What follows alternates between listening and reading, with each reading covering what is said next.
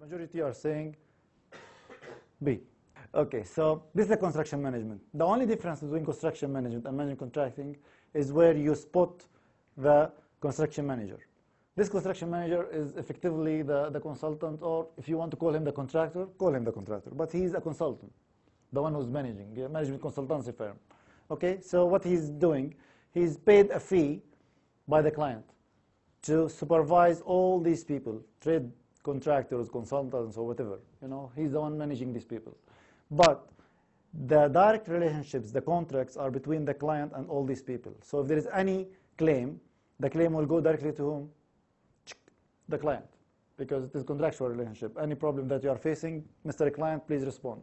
These people are only trying to make sure that the progress is okay and everyone is paid on time, you know, the, the planning, the cost, and the quality measures, safety measures are implemented, like any normal consultant in the job.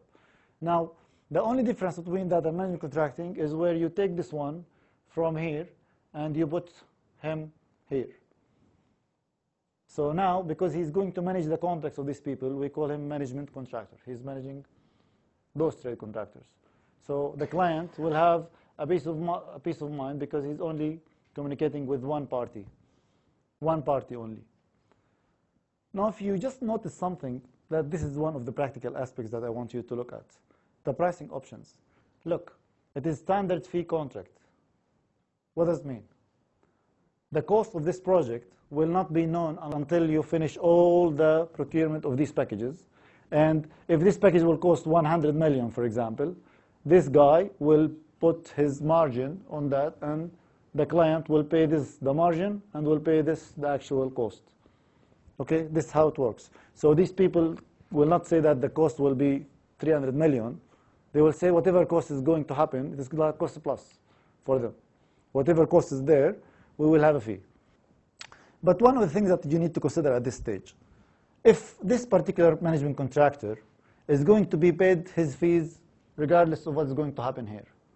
Take the scenario where Mr. Con Mr. Cladding contractor okay, had a dispute with the management contractor regarding the design or workmanship or any, any, any problem with the, with, with the project. And they go to court. Okay? They go to court. So what's happening? This guy will appoint lawyers to defend the claim. Who's going to pay for the claim? Who? Eventually, who's going to pay for that claim? The client, right? Because we said these people are all are going to get their fees at the end of the day. They're only managing. So what incentive have if they are going to, to be paid their full margin? Do, will they appoint their lawyers and they spend a lot of money to defend a case that they don't have an interest in? They will never do that unless you give them incentive. One of the major problems that we face with these procurement routes is this. In practice, you cannot do it this way. In Federation Square in 1997, have you, have you heard about Federation Square problem? This project, Federation Square, in 1997, the government announced that, okay, we want to build a hub, you know, for tourists and for attraction zone, and it was the area where it is now, you know. So, so what they have done, they said, okay, we want to have something which is special, so they announced a competition. The best designers will be appointed. And eventually they appointed some party called Lab. Have you heard of Lab? Lab was the eventual uh, winner of the competition.